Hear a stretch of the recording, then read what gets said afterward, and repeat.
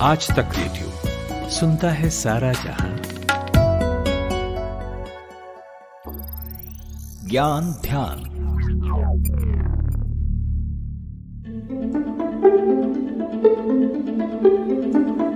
आपसे अगर कोई पूछे कि किन किन चीज़ों के आविष्कार से दुनिया में एक नई क्रांति आई है तो आप बल्ब के बारे में बताएँगे, आप व्हील के बारे में बताएँगे, क्योंकि हमने किताबों में पढ़ा है कि व्हील एक क्रांतिकारी खोज थी। लेकिन इन्हीं चीज़ों में एक और नाम शुमार होता है, जिस पर लोगों का कम ध्यान जाता है। चलिए कुछ हिंट देते हैं ताकि आप उसका नाम गैस कर सके। एक ऐसी चीज़ जिससे हम बचपन में दीवारों पर चित्र बनाया करते थे। अब समझे किसकी बात हो रही है? अच्छा चलिए एक और हिंट देते हैं। वो चीज़ जिसे हम कटर से छिला करते थे और सहेज कर अपने स्कूल के बस्ते में रख लेते थे। अब तो आपने पहचान ही लिया होगा कि हम बात पेंसिल की कर रहे हैं।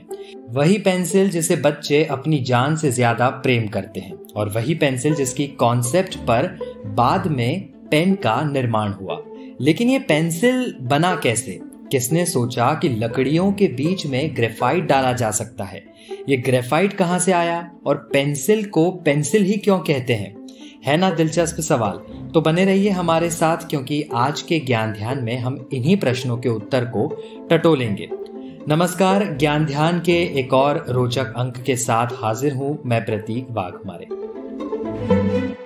दोस्तों, देखिए हमारा बचपन ना पेंसिल के बिना अधूरा है। क्योंकि उसका इस्तेमाल हम किताब कॉपियों के साथ साथ दीवारों पर चित्रकारी करने के लिए भी किया करते थे, जिसके चलते हमें बड़ी डांट भी पड़ी है। तो जो हमारा जीवन का एक अहम हिस्सा है, उसका इतिहास क्या है? पेंसिल अपने अस्तित्व में आया कैसे होगा? ये सब हम जानेंगे, लेकिन उससे पहले ये जान लीजिए कि पेंसिल शब्द को एक लेटिन शब्द, पेनिसिलस से लिया गया था, जिसका मतलब होता है पूछ। और पूंछ का इस्तेमाल पुराने जमाने में पेंटिंग ब्रश बनाने के लिए किया जाता था। इसलिए पेनिसिलियस से पेंसिल नाम पड़ा। अब हम कहानी पर आते हैं। साल था पंद्रह इंग्लैंड के बैरोडेल में एक तूफ़ान आया, जिसकी वजह से एक पेड़ गिर गया। कुछ दिनों बाद एक चरवाहा उधर से गुजर रहा था तो उसने देखा कि पेड़ की जड़ों में कुछ काले पदार्थ लगे हैं। उसे लगा कि ये कोयला है, लेकिन जब काले पदार्थ को जलाया तो वो जल ही नहीं रहा था, जिसके बाद लोगों ने उसका नाम ब्लैक लेड रख दिया, जिसे हम आज ग्रेफाइट के नाम से जानते हैं। उस वक्त इसका इस्तेमाल बकरियों पर निशान लगाने के लिए किया जाने लगा, और इंग्लैंड के बाज़ार में ग्रेफाइट को बेचा जाने लगा। सोलहवीं शताब्दी के अंत में लोगों ने ग्रेफाइट से लिखना शुरू किया, लेकिन ये इतना नाजुक था कि उससे लिखने में परेशानी आ रही थी, जिसके बाद लोगों ने ग्रेफाइट पर धागा लपेट कर लिखना शुरू किया। अब कहानी को थोड़ा विराम देते हैं और कुछ फैक्ट्स पर बात करते हैं। पेंसिल की प्रसिद्ध कंपनियों में अप्सरा, नटराज, डूम्स का नाम शामिल है। पूरी दुनिया में पेंसिल का बिज़नेस मॉडल एक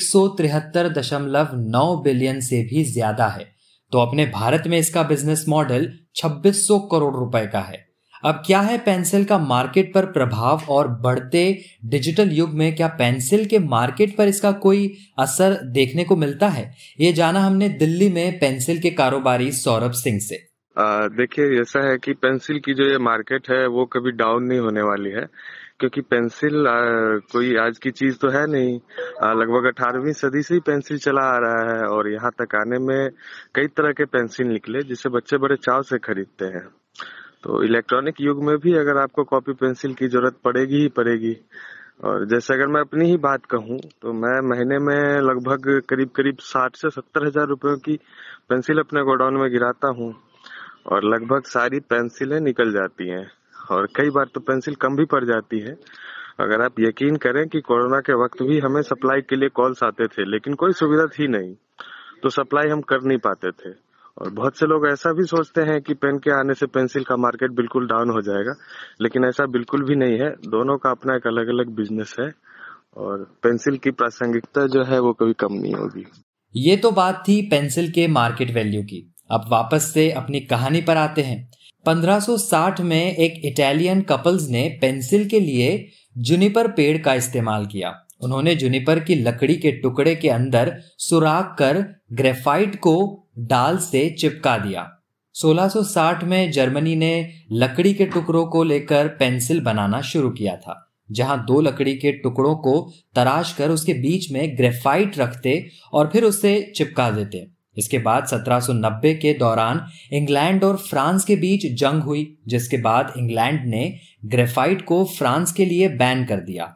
इंग्लैंड द्वारा ग्रेफाइट बैन के बाद फ्रांस में ग्रेफाइट की किल्लत होने लगी और फिर फ्रेंच के मिनिस्टर रुख करते हैं सेना के एक कमांडर और साइंटिस्ट निकोलस कॉन्टे का और ग्रेफाइट के इस समस्या का हल निकालने को कहते हैं। कुछ दिनों बाद निकोलस ने एक बॉक्स में चिकनी मिट्टी, ग्रेफाइट और पानी डालकर एक मिश्रण बनाया और सूखने के लिए रख दिया। जब ये सूख जाता तो इसे फिर भट्टी में जला देते। इसी दौरान निकोलस ने दे देखा कि चिकनी मिट्टी की मात्रा कम ज़्यादा करने से लिखने में फ़र्क आ रहा है, जिसके बाद एच एच बी नामों से पेंसिल बनना शुरू हो गया। साल सत्रह सौ पंचानवे में इस आविष्कार का पेटेंट निकोलस कॉन्टे को मिला, और आज तक ये पेटेंट, और आज तक ये पेटेंट इनके नाम पर ही है।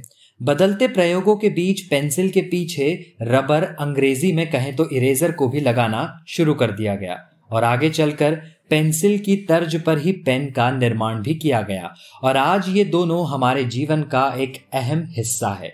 तो आज आपने पेंसिल के आविष्कार के बारे में जाना और समझा। हमें उम्मीद है ज्ञान ध्यान के इस एपिसोड की मदद से पेंसिल के इतिहास को आपने अच्छे से समझा होगा। कोई और विषय हो जिस पर आप ज्ञान ध्यान चाहते हो तो हमें ज़रूर लिखिए। हमारा पता है रेडियो एट आज तक डॉट कॉम इस ज्ञान ध्यान के लिए रिसर्च किया मेरे साथी सूरज कुमार ने। इसके अलावा आप हमसे कुछ कहना चाहते हो, कोई सलाह, सुझाव या शिकायत हो तो हमें लिख सकते हैं रेडियो एट आज तक डॉट कॉम पर। यह हमारा ईमेल पता है। आप आज तक रेडियो के फेसबुक और ट्विटर पेज पर भी अपना कीमती फीडबैक हमें भेज सकते हैं। इसके अलावा आप हमारा ये podcast Hubhopper Storytel Google podcast Apple podcast Spotify Jio Saavn pocket cast जैसे तमाम प्लेटफॉर्म्स पर भी सुन सकते हैं। अब मुझे यानी प्रतीक वाघमारे को दीजिए इजाज़त और सुनते रहिए आज तक रेडियो नमस्कार।